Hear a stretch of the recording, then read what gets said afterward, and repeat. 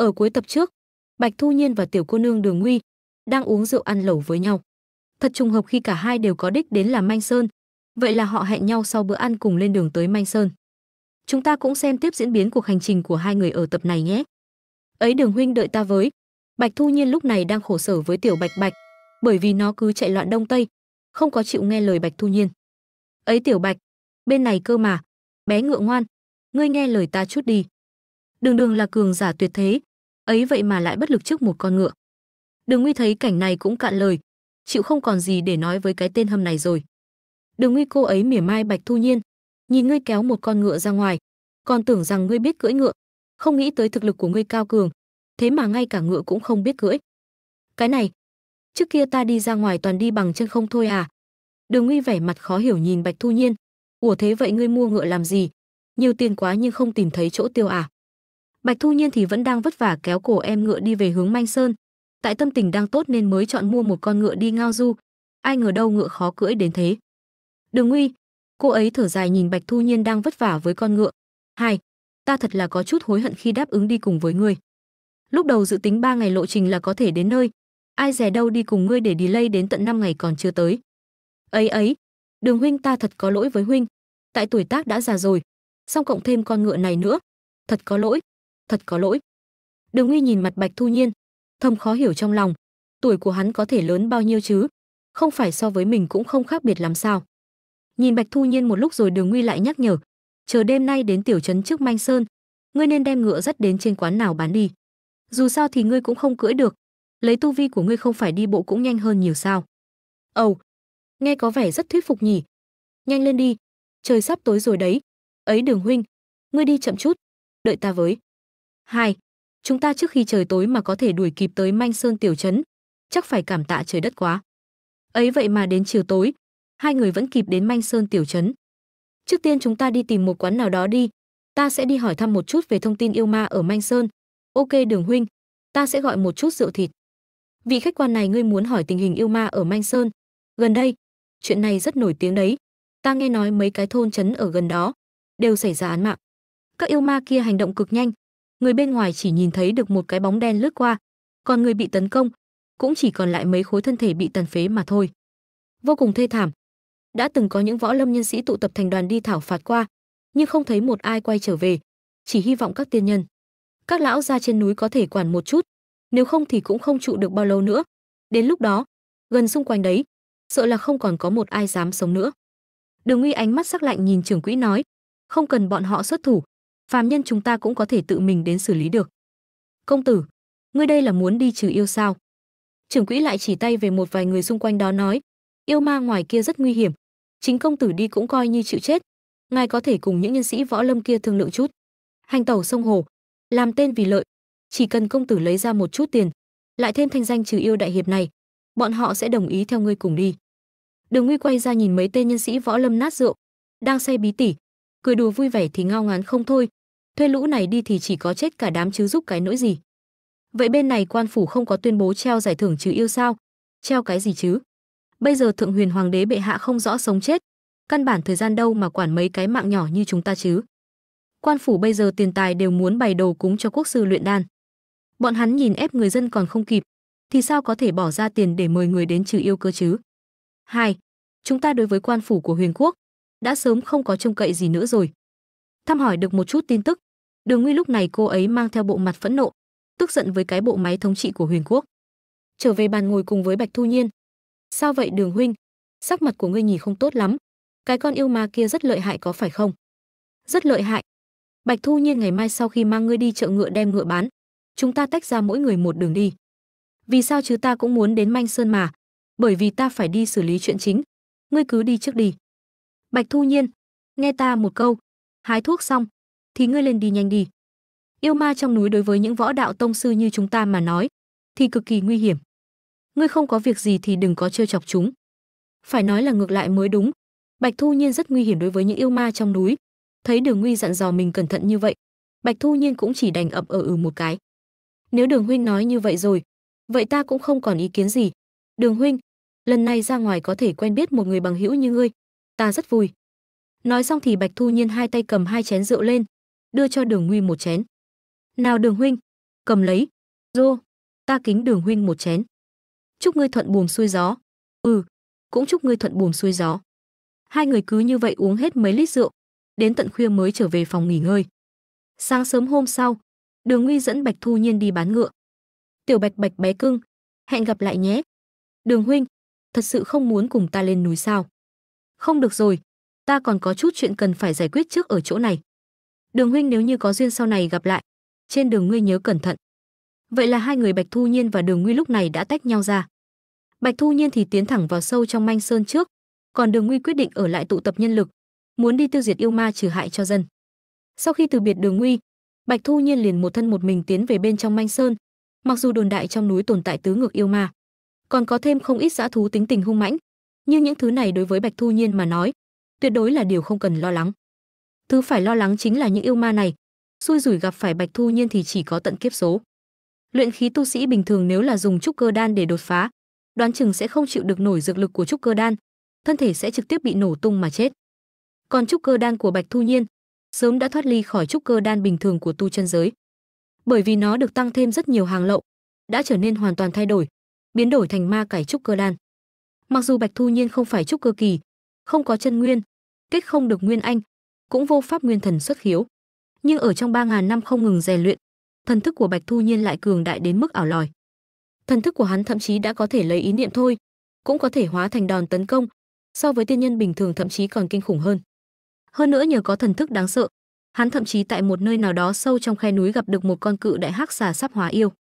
Con rắn này từng ăn qua thịt người nên muốn nuốt hắn. Bị hắn một trưởng đánh chết, thuận đường còn chiếm được một khỏa nội đan chất lượng tốt. Ha ha không tệ, vừa vặn có thêm dược liệu có thể tăng thêm dược lực của trúc cơ đan của ta. Tìm được rồi, đây chính là cây dược liệu cuối cùng của trúc cơ đan. Nếu không phải trúc cơ đan của ta cần mấy loại nguyên liệu quá mức ít chú ý, ngay cả tông môn cũng đều không có hàng, ta cũng không cần phải chạy đến Hồ Sơn để hái thuốc. Cuối cùng cũng xong, lần này dược liệu cho trúc cơ đan xem như đã đầy đủ hết, ta phải đi kiếm dược liệu của Trường Thọ đan. Nhắc đến Trường Thọ đan, Bạch Thu Nhiên lại nghĩ đến Tiết Lăng mà tức giận. Dựa vào cái gì người khác sống 3000 năm, đã có thể nhảy ra khỏi ngũ hành, trường sinh tiêu giao. Ta sống hơn 3000 năm, cứ phải mỗi năm đều bị sứ giả câu hồn tới nhớ thương, thật sự là bất công mà. Ông cứ làm như ai cũng có thể trở thành tiên nhân, tiêu giao tự tại trường thọ với thời gian được đấy. Ông cứ trường thọ đan ông ăn vào, thì khác nào trường sinh bất lão, mỗi tội là không ngự kiếm phi hành được thôi. Thôi, trường thọ đan vẫn là nên luyện, không thì lại phải cùng địa phủ náo nhiệt một trận nữa. Sư phụ bây giờ chắc đang tại tiên giới, mình cũng không thể tùy ý vọng động, chẳng may ảnh hưởng tới tiền đồ của sư phụ thì hỏng. Tiếp theo nên đi thu thập dược liệu trường thọ đan. À khoan, trước khi đi còn có một chuyện nhất định phải xử lý. Bên trong manh sơn có yêu ma làm loạn, nuốt người sống, tai họa thương sinh rất cao. Thân là người của Thanh Minh Kiếm Tông, cho dù người khác đánh giá như thế nào về tông môn, mình cũng không thể chỉ đứng nhìn được. Bạch Thu Nhiên liền lập tức dùng thần thức khủng bố truy quét toàn bộ manh sơn. Thần thức cứ như vậy mà phóng ra, tìm đến khắp mọi ngóc ngách trong manh sơn. Tìm thấy rồi, lần thứ nhất dùng thần thức bắt được nó, con yêu ma này nhìn qua là biết, vừa vặn mới tiến hành một cuộc săn bắt. Nó đang trên đường trở về tổ, nhưng mà so với trong đồn đại hình như có vẻ không giống lắm. Bọn chúng một chút cũng không tham lam, nhưng qua mấy ngày nó vẫn đều chờ ở bên trong xào huyệt của mình, tiêu hóa con mồi trước, cũng không có lại đi ra tấn công người khác. Khoan đã, phía dưới đây là cái gì? Là thi thể. Bạch Thu Nhiên lúc này phát hiện ra rất nhiều thi thể, ở phía sâu bên dưới nơi ẩn nấp của con yêu ma này. Việc này chỉ sợ là còn có gì đó mờ ám, nhưng mà không cần vội, chờ dọn dẹp xong những yêu ma này. Ta lại ra ngoài thôn nghe ngóng một phen, xem còn có sự kiện tập kích hay đánh giết gì nữa không. Là có thể xác nhận được ngay. Nhưng mà lúc này Bạch Thu Nhiên lại giật mình phát hiện ra. Còn có một người, hắn đang cùng Thi Yêu chiến đấu sao? Xem qua khí tức thì hắn cũng không phải là đối thủ của Thi Yêu. Bạch Thu Nhiên quyết định thuận tiện đi cứu một chút vậy. Chân đạp xuống mặt đất, đất đá nơi đó liền lập tức bị vỡ nát. Bạch Thu Nhiên cứ như vậy phóng thẳng người lên không trung, bay rất nhanh về phía cái người đang một mình chiến đấu với Thi Yêu kia. Bạch Thu Nhiên bay nhanh đến nỗi mà nơi Bạch Ca đi qua, đất đá khói bụi tung mù cây cối đều bị rẽ sang một bên. Chỉ vài giây sau, Bạch Thu Nhiên đã bay tới cái hang động có Thi Yêu kia. Cứ như vậy trực tiếp dùng đầu đâm thẳng nóc hang động mà phi xuống. Dầm dầm dầm nóc hang động thủng một lỗ lớn.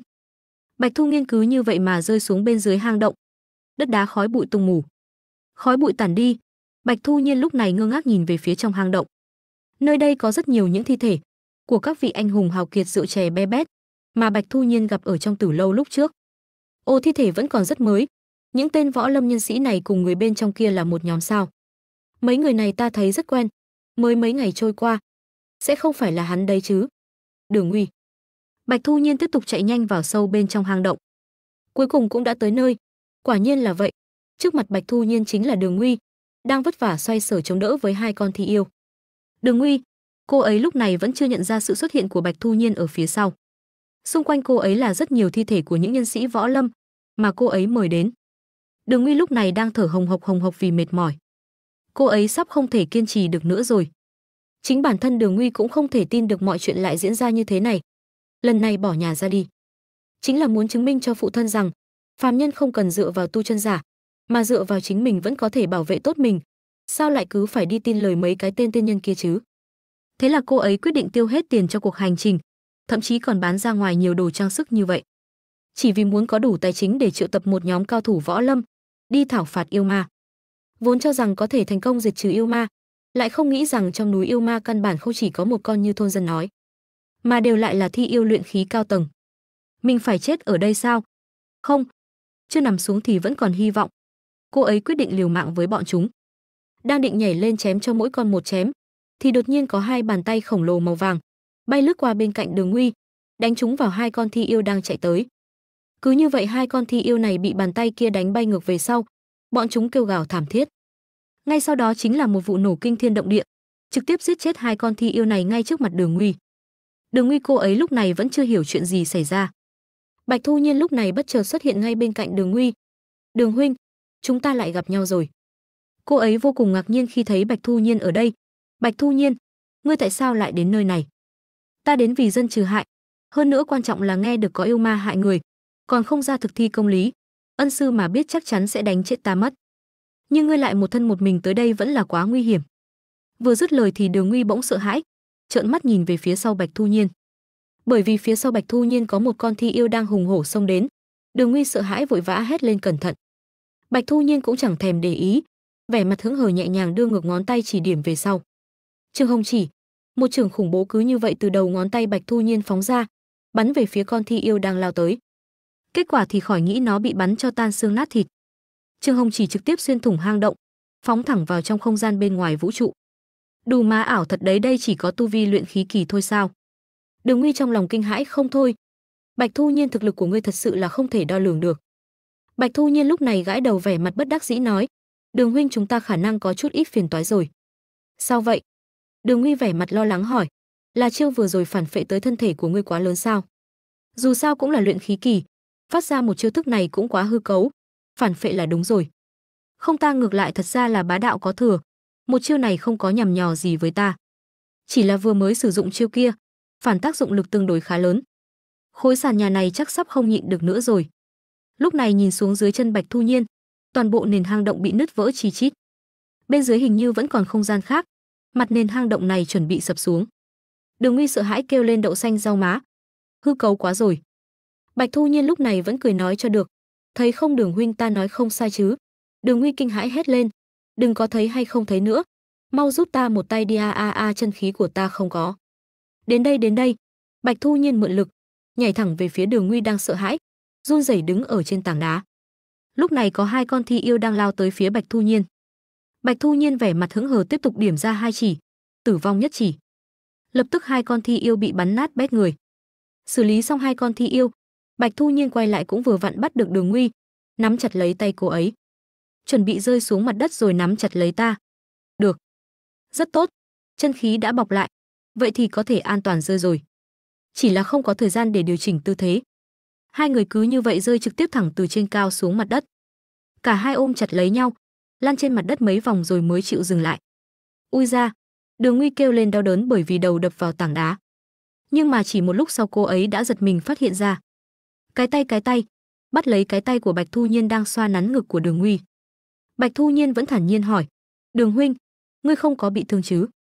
Đường Nguy ngại ngùng đỏ mặt, đôi mắt tróng váng, vội vã đẩy Bạch Thu Nhiên ra rồi hét toáng lên. Bạch Thu Nhiên giơ hai tay lên vội nói, "Không có việc gì thì tốt rồi, Đường huynh, không nên hiểu lầm ta không có hứng thú với đàn ông đâu." Đường Nguy vẻ mặt ngây ngốc, "Đùa à, hắn không phát hiện ra sao?"